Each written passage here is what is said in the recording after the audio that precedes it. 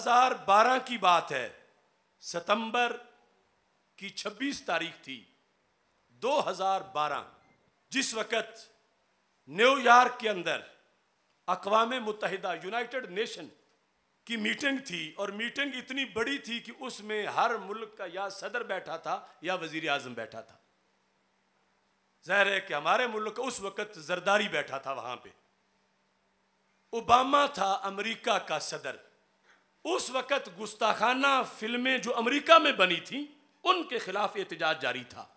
और peoples party ने उस वक़्त योम इश्क रसूल सलाम भी मनाया था, सरकारी सतह पर। गुस्ताखाना फ़िल्म के रद्द अमल में और पूरी कौम पाकिस्तान की निकली थी उस मौका पर। और इस कदर, यानी रद्द अमल था कि उन्होंने समझा, इन्हें रोकने के बजाय खुद कह देना चाहिए कि हमारी तरफ़ भी हालाँकि वो दिन जुमे का हमारा ऐलान था, साहबजादा फजल करीम साहब का सुन्नी इतिहाद कौशल की तरफ़ से ऐलान था तो साथ ही पीपल पार्टी ने भी ऐलान कर दिया कि हम भी ये योम इश्क रसूल सलाम मना रहे हैं। इस मौका के बाद जब यूनाइटेड नेशन में इस मसले पर बात पहुँची कि अमेरिका गुस्ताखों को पकड़े, जिन्होंने फ़िल्म बनाई है हमारे नज़दीक अगरचे गुस्ताख के लिए माफ़ी नहीं है, लेकिन कुछ लोग उन्हें कह रहे थे कि जिन्होंने फ़िल्म बनाई, वो माफ़ी मांगे। हम कह रहे थे, उन्हें फांसी पे चढ़ाओ। तो अमरीकी सदर ने इस खालिश हमारे मजहबी मसले पर अपनी राय दी।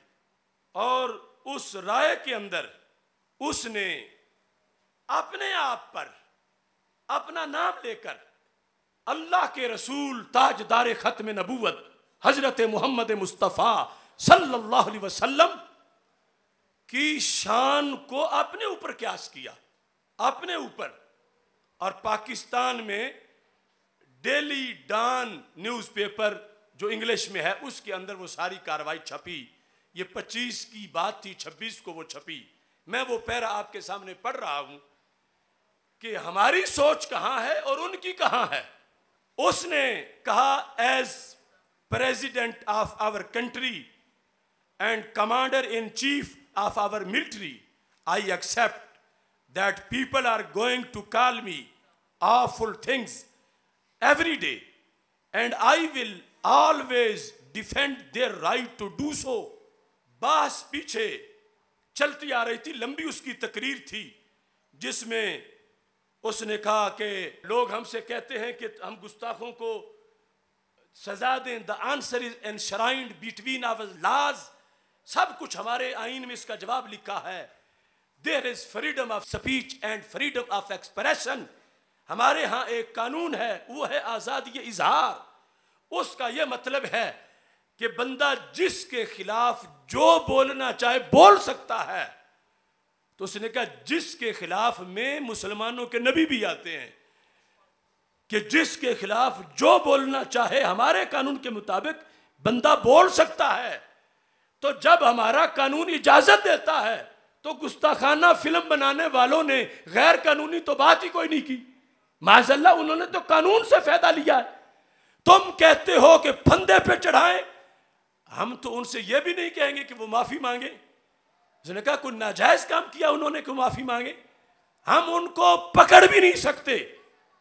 क्यों? हमारा कानून उनको पकड़ने की इजाज़त नहीं देता। ये सारी चीज़ें उसने कहा I know there are some don't just ban such a video the answer is enshrined in our laws लोग कहते हैं कि हम पाबंदी लगाएँ इस फ़िल्म पर। यानी एक तो बनाने वालों को सजा देना। उसने कहा, हम इसे बंद भी नहीं कर सकते बैन नहीं कर सकते। और यह कहा, आगे बनाने पर पाबंदी नहीं लगा सकते। और सारी बात करते करते उसने कहा, मैं जो इतनी बड़ी शख्सियत हूँ अमेरिका का सदर हूँ और मिलिट्री का चीफ हूँ। लोग मेरे खिलाफ रोज़ाना तनकीद करते हैं। मैं उनको तनकीद का हक देता हूँ। तो जब मुझ पे तनकीद हो सकती है तो कमीना इतने मुसलमान बादशाहों के सामने ये बकवास कर रहा था कि मुझ पे तनकीद हो सकती है तो मुसलमानों के नबी पे क्यों नहीं हो सकती यानी वेस्ट का दिमाग ये है जैसे यहाँ कुछ लोग अपने जैसा समझते हैं पैगंबर को, उसने कहा, आखिर मैं जो सदर हूँ। चीफ हूँ, मिलिट्री का और प्रेसिडेंट हूँ अमेरिका का।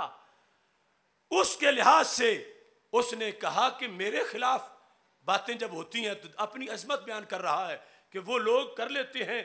मैं उनके लिए कहता हूँ and I will always defend their right to do so मैं कहता हूँ, ठीक है, ये उनका राइट है, वो कर ले। एक बूझना नमा इंसान जब 57 इस्लामिक कंट्री के सुदूर प्रेसिडेंट और प्राइम मिनिस्टर्स के सामने वो ये बक बक कर रहा था कि ओबामा पे तनकीद हो सकती है तो नबी पे क्यों नहीं हो सकती? तो हक था कि कोई तो इन जानवरों में से बोलता जो कहता कि तू तो बिलाल के कदमों की खाक तक नहीं पहुँच सकता। तू नबी के अपने साथ किस तरह बना रहा? ये उनकी बदबख्ती है। हमारे लोग अगर माने या ना माने, हमें फिर फिर कहते हैं, ये जो देखो जी, तुम सख्ती कर जाते हो उनके खिलाफ। उन्हें समझाना चाहिए, उनके साथ बैठना चाहिए, उन्हें कायल करना चाहिए। अब वो freedom of speech freedom of expression इसके अंदर इस हद तक पहुँचे हुए हैं। इस हद तक कि पैगंबरों के खिलाफ, अल्लाह के खिलाफ बोलना, वो कहते हैं एक राइट है ह्यूमन राइट है। हम कहते हैं हाँ बिल्कुल इंसान आज़ाद पैदा हुआ है।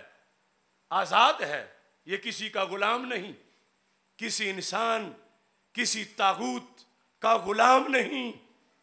मगर हमारे इस्लाम ने हदूद बनाई है। इधर देखना है, उधर नहीं देखना। ये खाना है, वो नहीं खाना।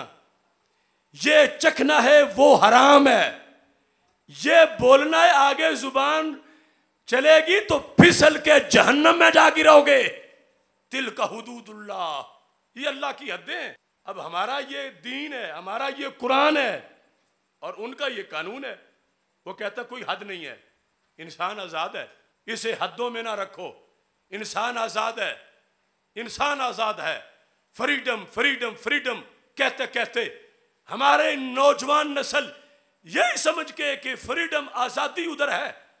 और वो कहते हैं, जो चाहो करो, आज़ादी है। इसी आज़ादी में ही बर्बादी है। दुनिया में लगाने निकले हैं।